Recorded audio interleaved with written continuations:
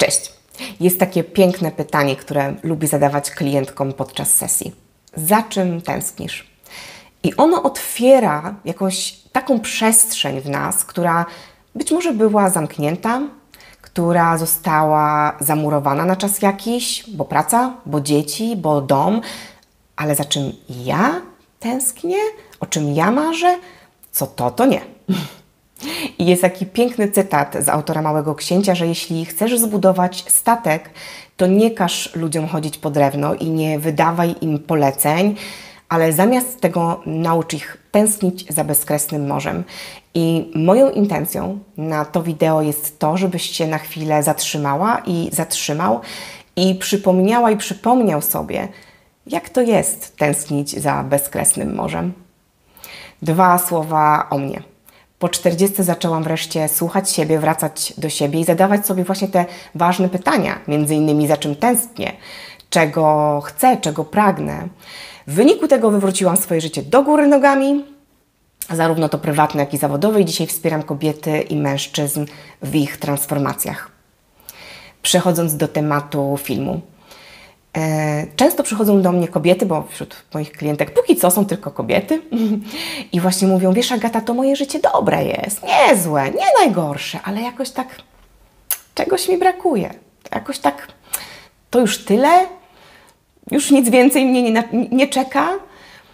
E, I moimi klientkami są takie kobiety pi razy drzwi w moim wieku. Ja mam 45 lat, takie właśnie 40-latki, 40-paro, 50-latki. E, I mówią, wiesz, czegoś bym jeszcze chciała. Czasami wiedzą dokładnie czego i potrzebują po prostu wsparcia w drodze do tego celu, do tego pragnienia czy marzenia, a czasami mówią, wiesz, ja, ja nawet, ja w ogóle nawet nie wiem, czego ja chcę. Ja w ogóle nawet nie wiem, co ja lubię. Ja w ogóle nawet nie wiem, za czym tęsknię i o czym marzę. I to też jest ok. Nawet jeśli faktycznie trochę tak jak mówiłam na początku, na wstępie, zabetonowałaś i zabetonowałeś tą część swojego życia nazwaną marzeniami, pragnieniami, to, to okej, okay, to zawsze możesz tam wrócić. I myślę sobie, słuchajcie, że ten czas właśnie po 40 jest na to w ogóle fantastyczny, bo my jednak, oczywiście troszkę będę, wiecie, generalizować, ale jednak większość z nas to swoje życie ma już trochę ogarnięte, umówmy się, tak? No bo ten czas, wiecie, między 20, 30, między 30 a 40, no to jest czas taki, wiecie, studia, praca, może zmiana, może awans, e, mieszkanie, może większe, pierwsze dziecko, może drugie, no trochę tak jest. No i, i oczywiście generalizuję, bo część z Was pewnie w ogóle tak nie żyje, ale przyjmij, przyjmijmy na potrzeby tego filmu, że duża część z nas tak, tak żyła, żyje. I teraz zobacz, mając już te 40 lat czy 40 parę, jednak już jesteśmy w takim miejscu, że tak jak mówię, trochę to jest ogarnięte. Nie? Już coś się osiągnęło, już coś się ma, e, te dzieci trochę odchowane. I to zobaczcie, jaki to jest, a jeszcze my strasznie dużo możemy. Bardzo dużo możemy. I nie powiesz mi, że nie. I ja też Ci nie powiem, że możesz jeszcze wszystko, bo na pewne rzeczy jest już za późno, ale na całą masę rzeczy jeszcze nie. Ja nagrałam kiedyś też taki film dokładnie pod takim tytułem Nie jest za późno i e, zostawię na koniec filmu linka do tamtego wideo.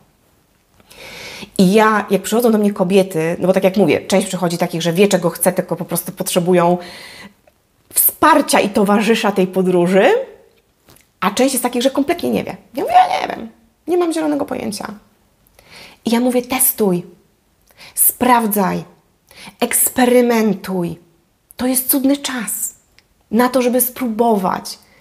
Może wrócić do czegoś, przypomnij sobie, co lubiłaś i co lubiłeś robić, jak byłeś dzieckiem, byłaś dzieckiem. Ale to wcale nie muszą być jakieś pasje, wiecie, z przeszłości. To może być coś zupełnie innego. Sprawdzaj, próbuj, eksperymentuj. Ja słuchajcie, na przykład jak moje dzieci były małe, no to nie miałam przestrzeni na to, żeby sobie gdzieś tam wychodzić, próbować, co ja w ogóle lubię robić. A teraz, jak moi synowie są nastolatkami, to ja mogę. I na przykład w, zeszłym tygodniu byłam po raz pierwszy raz w życiu na skłoszu. Pierwszy raz w życiu. I było super. No po prostu mega, zakochałam się w tym sporcie, totalnie. Jak ktoś by mi powiedział, wiecie, jakiś czas temu, że ja mając prawie 46 lat zacznę grać w skłosza, no to serio? By żyjmy. Żyjmy. I teraz pojawia się, słuchajcie, taki wątek, bo y, ci, którzy są u mnie na kanale y, już jakiś czas to wiedzą, a ci, którzy są nowi, to właśnie się dowiedzą, że dla mnie w życiu bardzo ważna jest duchowość. Y, bez duchowości tych zmian, które nastąpiły w kilku ostatnich latach mojego życia, takich radykalnych zmian, po prostu by nie było. Nie byłoby ich po pierwsze dlatego, że ja bym nie dotarła bez medytacji, bez duchowości do tego, czego ja w ogóle pragnę na takim głębokim poziomie, czego chce moja dusza, czego chce moje serce. Ja bym po prostu na to nie wpadła. Z poziomu głowy, z poziomu umysłu w życiu bym tego nie wymyśliła. To jest pierwsza rzecz. A po drugie, gdyby nie duchowość, ja nie miałabym najprawdopodobniej odwagi do tego, żeby to zrealizować. Ale dziś nie o tym. Dzisiaj o tym, że ja w pewnym momencie E, bo, bo dzisiaj duchowość versus pragnienia marzenia, nie? ten taki temat trochę chciałam teraz poruszyć. Bo ja słuchajcie, w pewnym momencie, będąc tak strasznie mocno weszłam w ten rozwój duchowy, bardzo dużo medytowałam e, i wpadłam w takie myślenie, no że przecież słuchaj, że przecież duchowość to brak oczekiwań, odpuszczenie przywiązania, że pragnienia to ból w efekcie. I w związku z tym wmówiłam sama sobie, że ja nie mogę mieć pragnień, nie mogę mieć marzeń. Że mam żyć tu i teraz i być zadowolona z tego, co mam tu i teraz. I uwaga, tak, totalnie, totalnie. Uważam, że absolutnie warunkiem koniecznym jest akceptacja tego, co jest i wdzięczność za to, co dzisiaj masz. Ja każdego dnia, słuchajcie, jestem wdzięczna za to, co mam i jak żyję. Każdego dnia. Każdego dnia za to dziękuję. I też fajnie, ostatnio słuchałam właśnie Jacka Walkiewicza jakiejś rozmowy i on mówi, jak dzisiaj nie będziesz e, zadowolona z kawalerki, którą masz, to nie będziesz też zadowolona z domu basenem za 10 lat. I ja totalnie się z nim zgadzam. Więc tak, jestem tu i teraz. Żyję, akceptuję to, co jest, jestem wdzięczna za to, co mam. Ale jednocześnie mogę chcieć więcej. I ja słuchajcie, przez jakiś czas nie dawałam sobie do tego prawa. Oceniałam siebie, tak jak powiedziałam, sama siebie za to, że chcę więcej. Ale to jedno drugiego w ogóle nie wyklucza dla mnie. To jest znowu, to ja czasami, słuchajcie, mówię w tych swoich filmach o wytrzymaniu tej, tej dychotomii, tego i to, i to, że to nie musi być albo to, albo to. Że to jest i to, i to. I jestem w tu i teraz. Wdzięczna za to, co mam, ale jednocześnie mam marzenia i pragnienia. Ja, ja, ja mam całą masę całą masę. Ale to, co jest przepiękne, jak jest się na tej drodze duchowej, to właśnie ten brak oczekiwań i ten taki, wiecie, luz. Bo ja, pomimo tego, że mam całą masę marzeń i pragnień, to, to wiecie, to jest takie, jak to się, jak to się nie uda, uda to w ogóle z, czas, z czapy, co się uda. No, zrobię albo nie zrobię, a nie uda się, tak? Czyli jeżeli to zrealizuje to marzenie, czy nie zrealizuje, to, to, to okej. Okay jak zrealizuje, super. Jak nie zrealizuje, też super. Właśnie pojawia się taki, wiecie, wewnętrzny luz, totalny luz do tego, że ja nie e, utożsamiam mojego dobrostanu z tym, czy ja to osiągnę, czy tego nie osiągnę. Że ja nie uzależniam swojego szczęścia od tego, czy ja to osiągnę, czy tego nie osiągnę. Ja jestem szczęśliwa tu i teraz, dziś. W czwartek, 7 marca, jestem szczęśliwa. Jak zrealizuję te cele, jak osiągnę, super. Jak nie, też ok. I to jest właśnie super, że, przy, że taka presja schodzi, że to już nie jest takie szybciej, szybciej, szybciej, więcej, więcej, więcej, dalej, dalej, dalej. Tylko to jest takie z miejsca, wiecie, otwartego serducha i takiej ciekawości, eksploracji, doświadczania. To jest takie enjoy the ride, że się po prostu mega cieszę tą drogą, tym wszystkim, co się pojawia, tym wszystkim, co przechodzi. I to mi daje ta duchowość. Ale duchowość daje mi, słuchajcie, w kontekście realizowania pragnień i marzeń coś e, jeszcze innego. I ja dzisiaj rano, przypadek nie sądzę, natknęłam się na fantastyczny cytat e, z Honoraty i Sylwii, z wysokich wibracji. Przeczytam, przeczytam Wam ten kawałek, że celem duchowości jest uświadomienie sobie wrodzonej mocy, pozwalającej stawić czoła wszystkim wyzwaniom życia i połączyć się z czymś większym niż mi, my sami. I to jest dokładnie to, że dzięki duchowości zaczynamy wierzyć w naszą wewnętrzną moc. I to, co powiedziałam wcześniej, że ja nie dokonałabym tych zmian w, w swoim życiu, których dokonałam, bez duchowości, bo nie miałabym odwagi, bo gdy wierzysz, że Ty i Bóg, Wszechświat, źródło, wstaw dowolne to jedno, to zobacz, jaka to jest moc. Gdy Ty myślisz sobie, że jesteś tylko tym człowiekiem, tym, tym tutaj ciałem, tą Agatą, Krzyśkiem, Piotrkiem, Basią, to może te Twoje marzenia i pragnienia wydają Ci się takie wielkie. Ale gdy Ty już wiesz, jaka moc w Tobie tak naprawdę drzemie, to one już nie są takie wielkie. To one stają się bardziej realne. Poczekajcie, popatrzę sobie w ściągę, bo dzisiaj jakoś dużo punktów zapisałam, żeby, żeby wszystko e, Wam powiedzieć. I to, do czego Was zachęcam, ale to jest tak, jeżeli masz dzisiaj małe marzenia, małe pragnienia, takie nawet może takie maciupkie, to super. To super. Ale zachęcam Cię do tego, z racji tego, że jednak trochę chcę, żebyś zatęskniła i zatęsknił za tym bezkresnym morzem. Tak szeroko. Żeby właśnie trochę wyjść z tej swojej takiej człowieczej małości. Z tego, że no co, co ja tam? Gdzie ja tam? I zachęcam Cię, żeby tak trochę dream big, chociaż na chwilę, tak dla zabawy. Spróbuj. I też zachęcam Cię jeszcze do czegoś, takiego fajnego, e, fajnej rzeczy, żeby powiedzieć komuś, no, wiecie, że kogoś ma się zaufanie, z, czym, e, z kim czujesz się komfortowo, powiedzieć na głos to swoje marzenie, takie duże.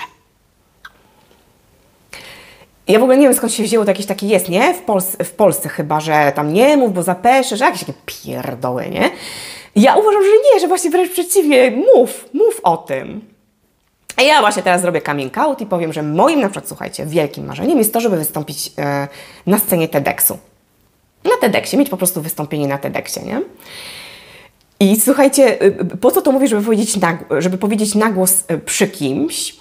Po pierwsze, że to samo w sobie ma jakąś taką moc, że my jakoś tak, aj kurczę, ja faktycznie tego chcę, tak jakoś to potwierdzamy, to nasze marzenie, nasze pragnienie, ale z drugiej strony może nas też zaskoczyć reakcja otoczenia, bo ja na przykład jak zaczęłam mówić, e, no kilku takim bliskim osobom powiedziałam o tym, że chciałabym wystąpić na TEDxie, to reakcja była taka, a no tak, słuchaj, no, nie, no jasne, kurczę, ja już w zasadzie Ci widzę na tej scenie, to totalnie two Twoje. Ja taka, o wow. Spróbuj to zrobić.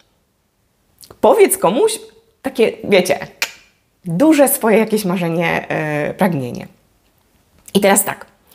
Jeszcze jedna rzecz, o której chciałam yy, powiedzieć, zaraz, za, zanim przejdę do pracy domowej, bo dzisiaj Wam dam pracę domową, to jeszcze jedna rzecz jest taka, że pomimo tego, że te marzenia, i, że zachęcam Was do tego, żeby te marzenia i pragnienia były duże, to jednocześnie od razu chciałabym uprzedzić, że do realizacji tych marzeń i tych pragnień będziesz potrzebować małych kroków.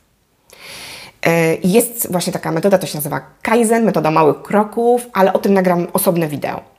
Bo to jest tak, że wiecie, jak my e, super, że się łączymy z wielkim pragnieniem, ale potem ono, się ono jest za wielkie, tak trochę spoilerując to, to, to co będzie, e, ono jest trochę za wielkie, my się przerażamy i potem w efekcie tego nie realizujemy, więc tak jak mówię, do realizacji będziemy potrzebować małych kroczków, ale to tak tylko mówię, zrobię o tym osobne wideo, e, o, ty, o, o, tej, o tej metodzie e, małych kroków. Tylko tak na razie mówię, że, bo, bo to jest tak właśnie, że takie duże, takie duże, to za duże, pojawia się lęk, to nie zrobię nic. I na koniec obiecana praca domowa. 10 marca, za 3 dni, e, no w zależności od tego, kiedy oglądasz, może nie za 3 dni dla Ciebie, jest nów Moja ukochana astrolożka, cudna szamanka Ria mówi, że to jest najbardziej e, potężny nów w 2024 roku i ja jej wierzę. A ty nieważne, czy, czy wierzysz, czy nie, pobaw się. Baw się, eksperymentuj. I może w ramach tego eksperymentowania i tej zabawy zrób ten dzień, czy tam dzień przed, czy, czy dzień po, bo to jest podobno taki potężny nów właśnie do tego, żeby zasiewać intencje, do tego, żeby puszczać wodze fantazji, do tego, żeby mieć wizję, żeby mieć marzenia, żeby mieć właśnie te pragnienia. Więc yy, to, do czego Cię zachęcam, usiądź sobie wtedy, Niekoniecznie w takiej, wiesz, medytacji, medytacji, po prostu usiądź, zatrzymaj się na chwilę, usiądź sobie, zamknij oczy. Zacznij sobie spokojnie oddychać, żeby trochę się tak osadzić. I bez spiny, bez oczekiwań, pozwól, nadaj sobie taką intencję, żeby przyszły do ciebie właśnie obrazy tego, czego ty chcesz, czego ty pragniesz. I pozwól tym obrazom przychodzić. Pozwól temu przez ciebie przepływać. I zobaczysz, co z takiego ćwiczenia wyniknie. Na dzisiaj to tyle. Jeśli film Ci się podobał, zostaw łapkę w górę. Zostań koniecznie ze mną e, na kanale. E, jeśli e, sesje indywidualne ze mną to jest coś, co z Tobą rezonuje, to zapraszam serdecznie szczegóły w opisie filmu. Do zobaczenia kolejnym razem.